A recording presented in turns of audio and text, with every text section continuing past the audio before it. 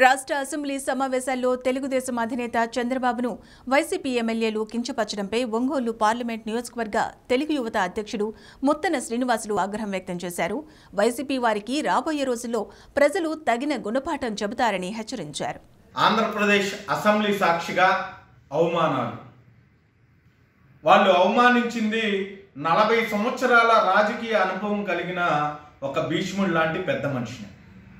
ఈరోజు ఆంధ్ర రాష్ట్రం విడిపోయిన తర్వాత పూర్తి బిడ్డగా ఉన్నటువంటి ఆంధ్రప్రదేశ్ని దత్తత తీసుకొని అభివృద్ధి చెందిన రాష్ట్రాలతో పాటు పరుగులెత్తిచ్చిన మాజీ ముఖ్యమంత్రి వర్యుడిని ఈరోజు ఆంధ్రప్రదేశ్లో అసెంబ్లీలో ఎమ్మెల్యేలు అందరూ కూర్చొని ఉండగా మంత్రులందరూ కూర్చొని ఉండగా ప్రజలందరూ ఆలోచించేది ఆంధ్రప్రదేశ్లో జరిగిన అభివృద్ధి గురించి మాట్లాడతారేమో సంక్షేమాల గురించి మాట్లాడతారేమో రాష్ట్ర రాష్ట్రంలో ఉన్నటువంటి రోడ్ల గురించి మాట్లాడతారేమో అని చూస్తూ ఉండగా ఒక బూతుల మంత్రి ఒక పాన్పరాగ్ మంత్రి లేకపోతే అమ్మాయిల కోసం వెంపర్లాడే ఒక ఎమ్మెల్యే అంబటి అనే ఒక దున్నపోతు.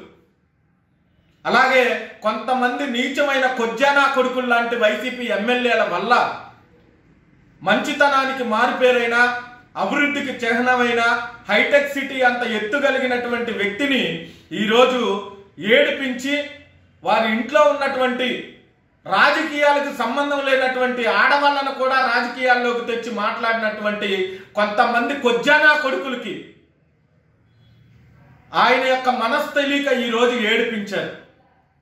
ఏడ్చిన ప్రతి కన్నీటి బట్టు కాల సర్పమైన కొడకల్లారా మిమ్మల్ని కాటేయకపోతే వైసీపీలో ఉన్నటువంటి చాలా మంది నీచమైనటువంటి ఎమ్మెల్యేలకి వాళ్ళ యొక్క ముఖ్యమంత్రి దగ్గర ఏదో పొగడ్తలు పొందాలని వారి యొక్క అనుగ్రహం ఇలా కలగాలని నిన్న తిరుపతిలో కూడా ఈవో గారు వాళ్ళంతా తులాభారం వేస్తూ జగన్మోహన్ రెడ్డిని కాటా వేస్తూ తులాభారం వేస్తూ జగన్మోహన్ రెడ్డి దర్శక అని పలికే బదులు జగన్మోహన్ రెడ్డి నాశనం అయిపో అని పలికితే ఇంకా బాగుండేదేమో.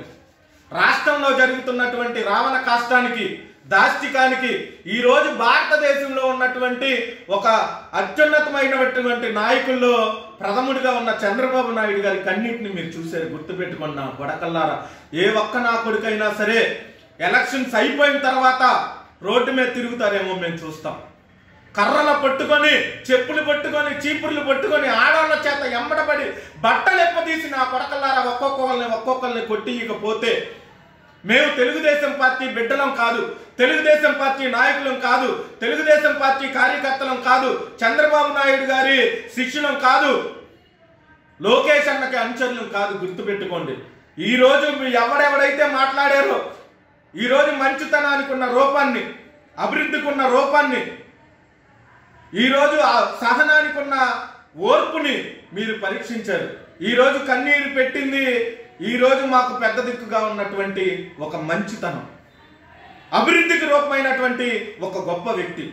అలాంటి వ్యక్తిని ఏడిపించిన ఏ నా కొడుకుని అది వింటే